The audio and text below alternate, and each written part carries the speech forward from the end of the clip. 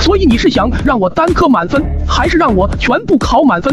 哼你要是能考满分，那你就考给我看，你能把语数英都考满分吗？你现在年纪轻轻，不要说大话行不行？用实际行动来证明。庄希月感到特别的无奈，因为语文和英语再怎么考，作文一般都会被扣分。能啊，我说能考满分就能考满分，在他的眼里，我就是在赌气。我就等着你的成绩，如果考不到，请你家长来办公室喝茶。你这个学生最好不要吹牛。老师，如果我真的能完成这个挑战的话，你会给我什么样的奖励？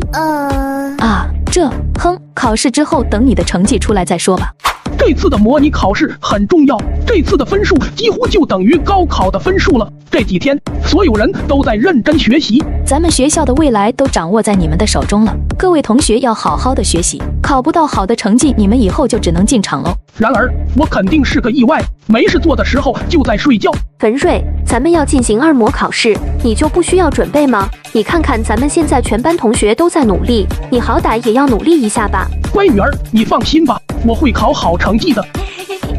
文瑞，大家今天都拿书回家复习呢，难道你什么都不拿吗？都是我会的题目，我为什么要拿书回去复习？今晚我还打算熬夜看球赛呢。呃你不怕考得倒数第一吗？放心吧，我肯定会考第一的。你往哪里走？你家不是这边吗？我要去电竞城。都什么时候了，准备考试了，你还要去打游戏？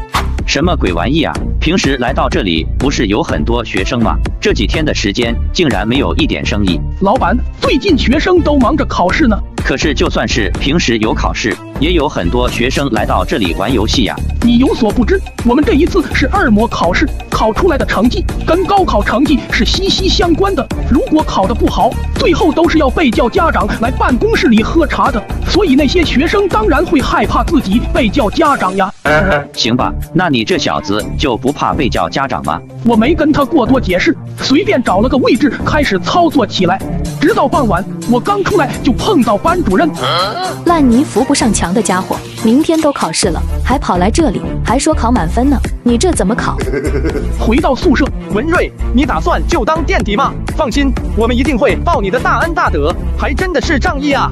这次又选择当垫底啊！当初考试我就因为差几分直接被叫家长，搞得我跟我的对象都分手了。难道你就不怕被打死吗？文瑞，明天我们就看你的表现了。